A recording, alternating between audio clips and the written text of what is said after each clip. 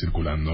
Bueno, eh, está en línea Joaquín Váguez, que nos está esperando, muy amable, jefe de estrategia de portfolio. Joaquín, un abrazo grande. Willy Cogan, ¿cómo andamos? Hola Willy, ¿cómo andas? Muy bien, muy bien, muy bien, muy bien. Bueno, ¿cómo, cómo, ¿cómo están viendo el panorama? ¿Cómo estuvo el día hoy? Y bueno, ¿y qué se dice para, para las próximas horas, che? Sí, te estaba escuchando en línea y la verdad que el diagnóstico es muy correcto. Eh, hoy tuvimos varios calls con inversores extranjeros. Vos sabes que este es un modelo que ha emitido mucha deuda, entonces la sensibilidad con el, con, el inversor extranjero es sumamente sensible. Entonces, eh, las preguntas son las que estabas remitiéndote. Eh, ¿Qué es lo que va a pasar?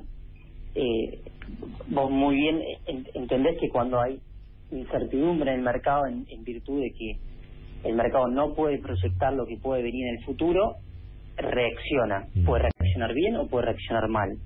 Y en este caso está reaccionando mal porque tiene una imagen de un gobierno que no era muy friendly para el mercado. O sea, eh, esa es la, la reacción. Hasta que Alberto Fernández no nombre un equipo, no proyecte lo que va a hacer en términos económicos, no diga cuál va a ser su programa económico, el, el mercado va a seguir de esta manera, digamos, ¿no?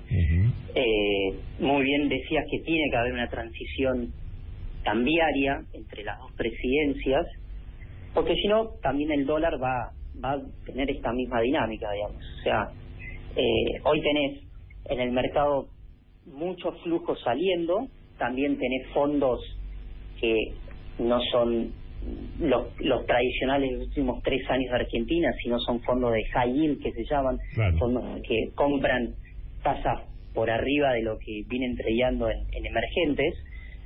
Eh, entonces tenés un flujo mixto y, no está frisado. O sea, hoy en día puedes tener bid y offer en, en, algunos ciertos bonos en Argentina porque hay gente que no, le, no, no se encuentra cómodo con estos niveles, sale de Argentina y otros que encuentran atractivo estos niveles de, de retornos, digamos, ¿no? y pueden afrontar estos riesgos.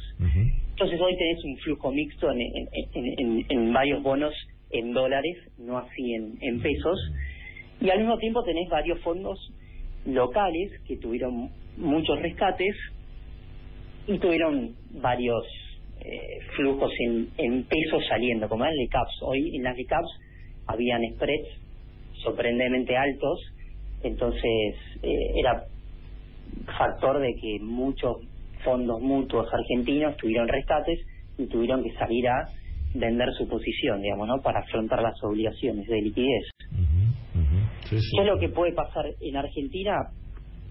Hay que esperar, hay que entender y que, como dije al principio, hay que entender qué es lo que puede llegar a plantear el equipo económico de Alberto Fernández, qué es lo que se va a esperar y, y en parte ahí proyectar es la posibilidad que tiene Argentina. sí, yo creo que me parece que eh, eso efectivamente es así. Ahora, me parece que hay algo más de cortísimo plazo, que es cómo va a administrar el gobierno la política cambiaria de aquí hasta el final del mandato de Mauricio Macri. Yo creo que eso es de lo que nadie quiere hablar, pero es de lo que de lo que hay que hablar eh, eventualmente, porque bueno, digamos, ahí hay una discusión, porque hay, algunos dicen hay que vender todas las reservas que sean necesarias para estabilizar el dólar. Pero otros lo que dicen es que cuidado, que precisamente para evitar una hiperinflación y para no cometer los errores del pasado, no hay que quedarse sin reservas. Correcto. Sí, tenés las dos posturas. eh, la que dicen salir, reventar todas las reservas y aguantar el dólar.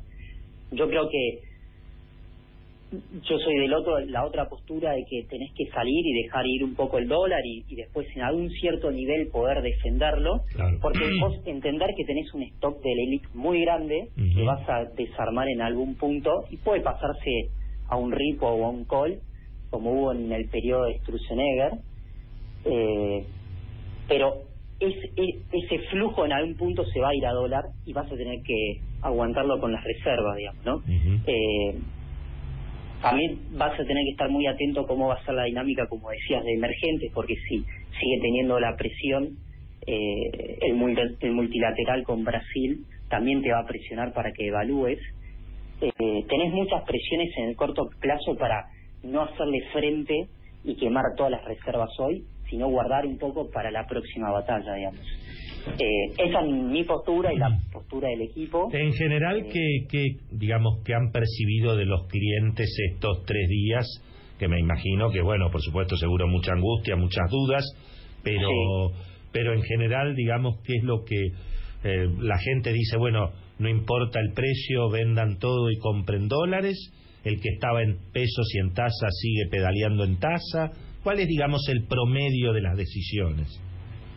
A ver, deberías de segmentarlo por eh, por cliente, digamos, ¿no? el, tipo que está en Nueva York y es súper sofisticado y, y, tiene un mandato y puede ejercer cierto nivel de riesgo en su cartera, mucho aguantaron y salieron a comprar, digamos, para promediar su cartera y decir, bueno, ok, me aguanté esto y, estoy en, en una paridad mucho más baja, compré, no sé, Century o, o, o, o, la curva en 45, 48 dólares y estoy cerca de eh, el recovery value si hay una reestructuración por el estilo, digamos.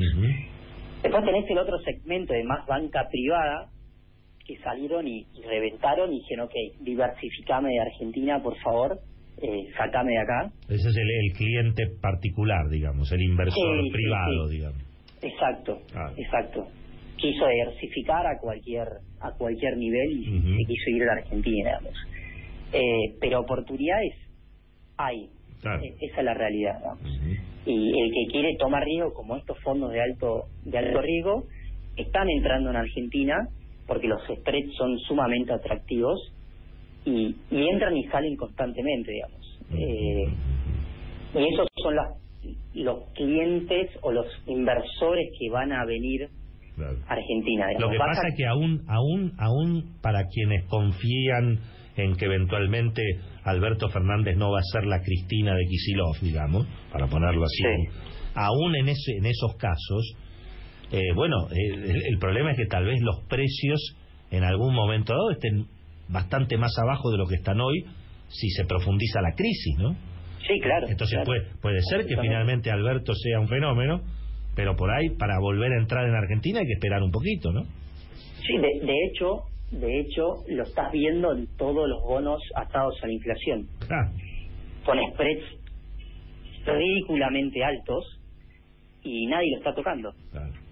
Y eh, ahí es el mejor, la mejor señal de que ningún inversor está eh, confiando eh, en, en, lo que podría llegar a venir, digamos. Porque la primera pregunta que te hacen es cuán confiable puede ser Index. Bueno, Joaquín Vagues es el jefe de estrategia de portfolio personal, charlando un ratito con él, muy interesante. Joaquín, un abrazo grande y bienvenido obviamente a este espacio también. ¿eh?